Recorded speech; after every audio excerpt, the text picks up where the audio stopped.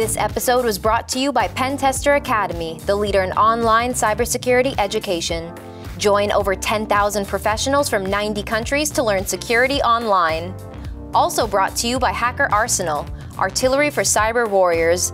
Visit us on hackerarsenal.com to check out our latest attack defense gadgets. I'm Marli Oxenholm from Pentester Academy TV, and welcome to our show, Access Point, where we spotlight cybersecurity companies and give an inside look at the people and technology behind the latest advancements in the industry. Today, I will be speaking with the company Illumio. I'm sitting down right now with Matthew Glenn, who is VP of Product Management at the company. Thank you for joining me today. Thanks for having me. Absolutely. Thank I got a, you. a lot of uh, great questions here from our tech team, so you ready to get started? Let's go. All right. So, first question. Can you talk about Illumio's adaptive microsegmentation approach in more detail for me, including the policy compute engine and the virtual enforcement node? Great question. So, um, our solution is comprised, as you pointed out, of two uh, components. There's something we call a virtual enforcement node, or what I'll call a VEN, um, which is installed inside the guest OS. Um, so, uh, what's interesting about it is it doesn't do any form of enforcement, even though we call it a virtual enforcement node. It has nothing to do with enforcement. Um, what it does is it's going to gather context and telemetry on the host it was actually installed on, like what are the processes it's installed on, what type of operating systems it is, and it sends that up to this thing we call a policy compute engine, which is really the brain of our product. Okay. The policy compute engine we deliver from our SaaS, uh, and we deliver it on prem. We don't charge differently for how it's consumed. Okay. What the policy compute engine does is it does two things. The first thing it does is visualizes your application dependency map. So it's literally going to give you a map of how things are communicating with one another. Nice. And then what you do is you write natural language policy. Like if I say uh, for the Pentester Academy application, I want the web tier to be open to my users. I want the web tier to talk to an application tier, and my application tier to talk to a database. And it takes that natural language uh, description of what you want. It's gonna it's gonna munge that up. and It's gonna compute layer three, layer four firewall rules for every one of the hosts that make up that pen tester app- application, and it sends it back down to the VEN. And the VEN's like an antenna; it just sends and receives information. And the receiving part of the VEN, that antenna, is going to take those layer three, layer four firewall rules, and it's going to not enforce the rules. What it does do is it programs the firewall that you already even have inside of the host. So what we do is we just activate the firewalls that you already have. So in Linux, you have something called IP tables, and in Windows, you have something called the Windows filtering platform.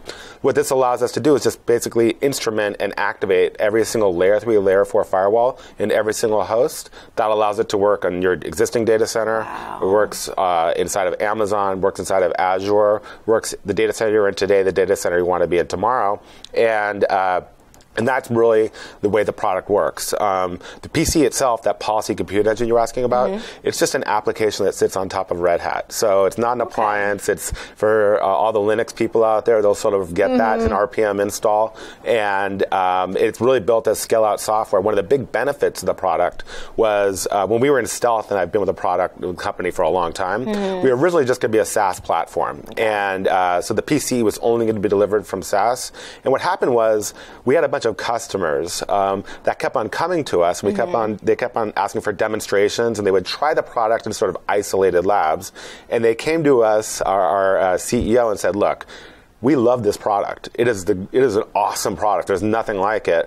But if you think we're ever going to take this from your SaaS, you're on drugs, Oh right? So we literally had to basically pivot a little bit and take that SaaS platform and package it up for customers to take on prem. So Okay. um, we don't charge differently for that, but literally the exact same software that we deliver from our SaaS is exactly what like some of our big financial services customers take. So it's literally you could be a small customer, you're really riding in the same product that some of the biggest banks in the world are using. So okay, that's incredible. it's pretty cool. Got it. Yeah.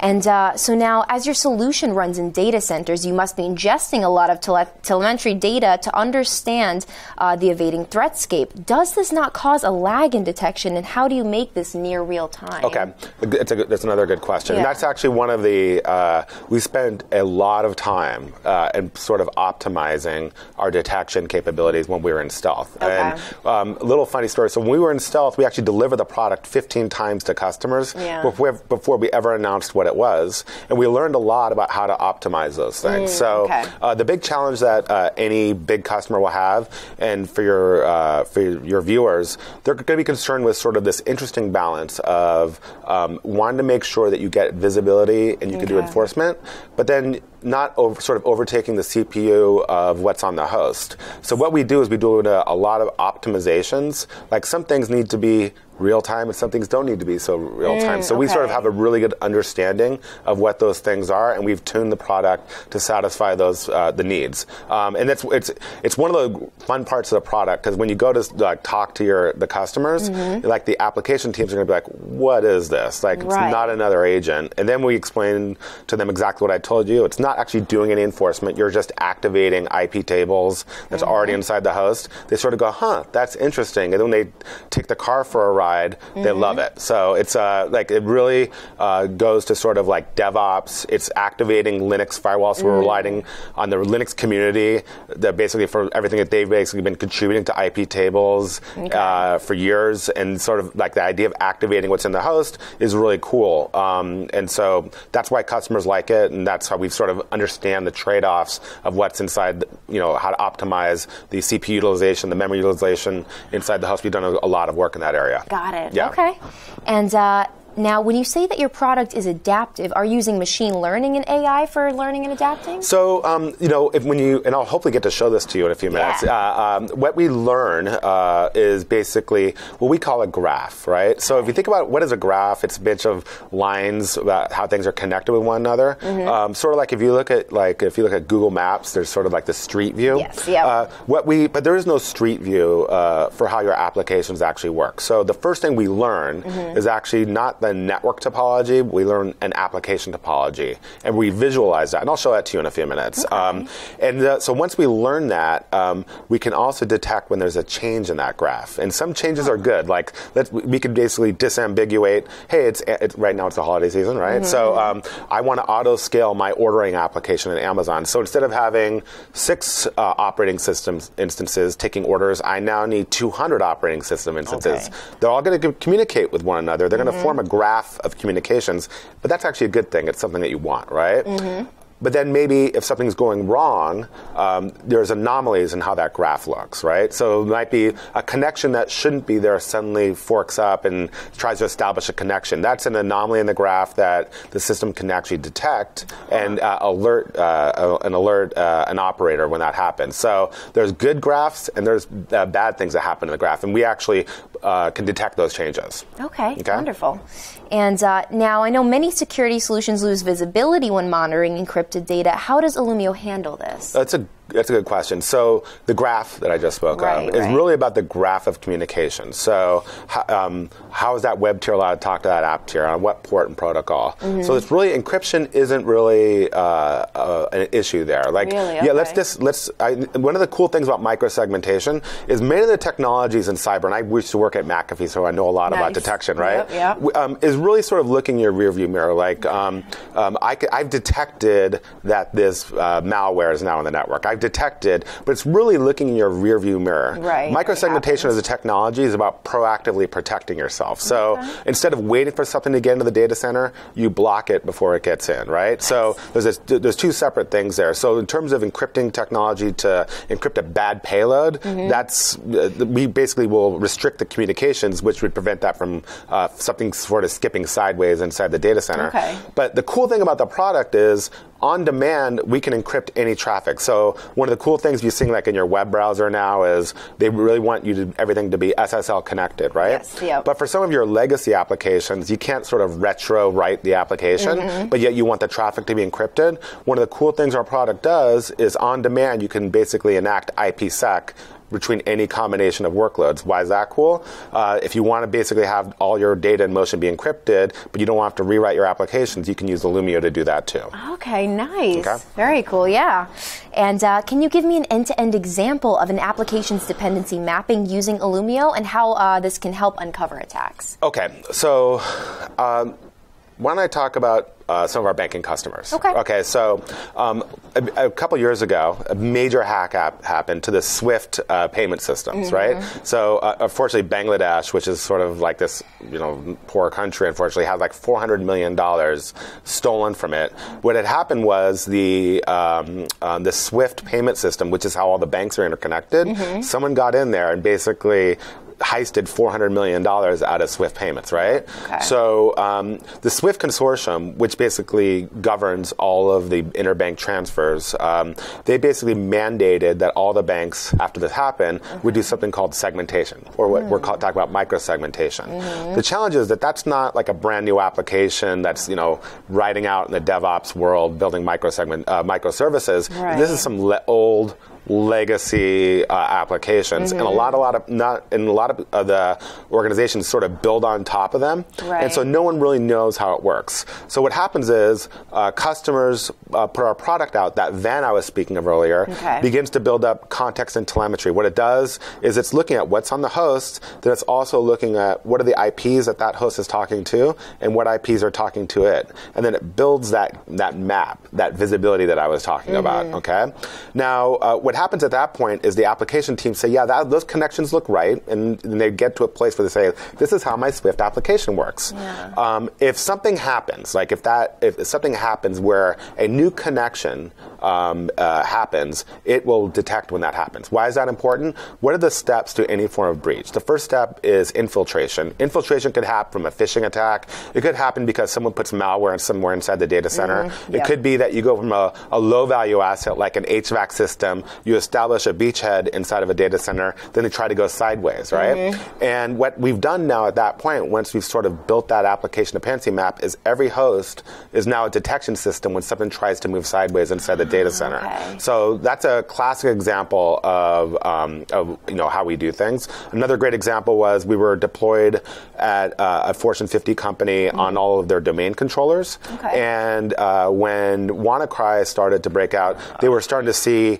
hosts trying to connect those domain controllers on ports that they weren't supposed to, and they immediately were able to dispatch the desktop police to go remediate those particular hosts. Wow. Like they had hosts in Buenos Aires trying to connect to things in Paris, And saw that right and They saw that right away, right? So it's not just okay. about enforcing the graph, but you can also detect uh, unapproved communications. Okay. Make sense? Yeah, got it. Yeah. And uh, now, can you give me an example of how adaptive microsegmentation would prevent an advanced persistent threat a little bit more? So, um, you know, if an APT were to break out, as I was just, I was, we were just talking about, Mm-hmm. an APT, the first thing it does is it tries to establish that beachhead. Yep. And then it's going to try to move sideways through an environment, and uh, once again, we're going to prevent that lateral movement uh, of a breach. What's interesting is when we, when I talk to a lot of the big organizations I get to talk to, I feel fortunate. Um, there's a few sort of breaches that they're starting to, that they see. There's the APT threat, which all these detection technologies that we sort of touched on sort of get into. But a classic thing that um, I'm seeing, especially in sort of more regulated uh, organizations, it could be like a utility, it could be banking, it could be like a company that um, where the company itself is an application, like a SaaS provider. Um, they're worried about the insider threat, not the insider threat of APT, but a human like that actually is actually inside the bank Yep. that's trying to do, s- or inside the uh, the SaaS provider, inside the utility company that's trying to uh, find their way to a critical asset, and that's a and this is also an area when a person gets inside the data center and they try to establish an unauthorized connection, just the same way we would with the APT, we can also detect those sorts of things. Ah, okay. Yeah. Got it. And uh, now, how can your approach help secure applications in today's microservices and very containerized world? Well, that's a, another great question. So, to us, the enforcement point um, that we spoke about earlier is in the host, right? So, Right. IP tables and Windows filtering platform are the lingua franca of all these different forms of commute, right? Compute. So, IP tables is going to sit inside those Linux hosts. That's going to uh, basically do uh, have visibility about what's going on inside the containers. IP, uh, Windows filtering platform is in Windows. So, if you're running containers in Windows, Windows filtering platform provides us an enforcement point uh, where that's concerned. So, to us, that's all the same. It's all different sorts of workloads. In fact, um, you know, uh, we definitely have the container thing. We've shown that for some period of time. But a classic thing that a lot of uh, organizations probably do is before containers were cool, uh, they were doing something. Uh, they're doing what we call multi-tenant hosts, where they're running like 12 copies of the same application on the same physical host, and they needed to do segmentation based on that. So it's funny. Actually, what's interesting that I find about containers is you know, 10 years ago they were doing this multi-tenant hosting, Mm-hmm. 12 copies of the same application on the same host, and still needing to do segmentation. Mm-hmm. And then uh, we got to VMs, and now we're back to sort of the multi-tenant hosting, but in a much more structured way with containers. Yep. What's interesting is our product sort of bridges all of those different compute variants. Yeah. Um, so uh, that's a nice thing about it is if you're running in your legacy data center on those old applications or Mm-hmm. going containers,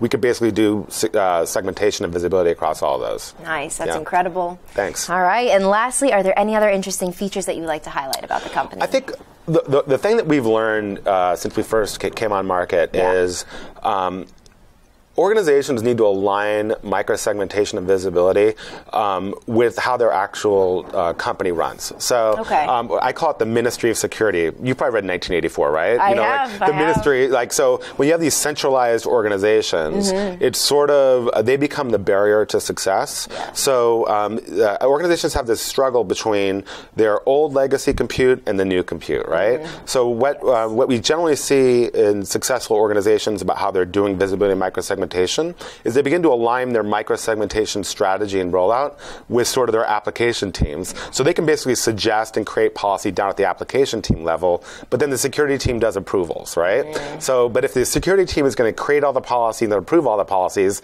that's the Ministry of Security problem, and actually doesn't really work in today's world. Right. So. No, that's incredible. Thank you so much for sitting down Thanks for and having me. with absolutely. And I'm excited to see this demo Hopefully it'll be good, yeah. It's going to be great. Thanks. All right, and that's all the time we have right now, so be sure to tune in next time for another episode of Access Point. Also, make sure to subscribe to our YouTube, Twitter, and Facebook so you don't miss out on any of the latest cybersecurity news. This episode is brought to you by Pentester Academy, the leader in online cybersecurity education. Join over 10,000 professionals from 90 countries to learn security online. Also brought to you by Hacker Arsenal, artillery for cyber warriors. Visit us on hackerarsenal.com to check out our latest attack defense gadgets. Thanks for watching, and we'll see you next time.